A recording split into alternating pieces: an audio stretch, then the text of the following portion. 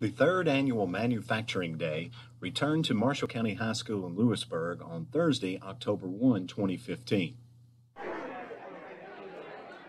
The event, sponsored by the Marshall County Chamber of Commerce, the Marshall County Joint Economic and Community Development Board, and the Lewisburg Department of Economic Development, brought in three local industries Calsonic Kansei of North America, Southern Carton, Lewisburg Printing, and the Tennessee College of Applied Technology.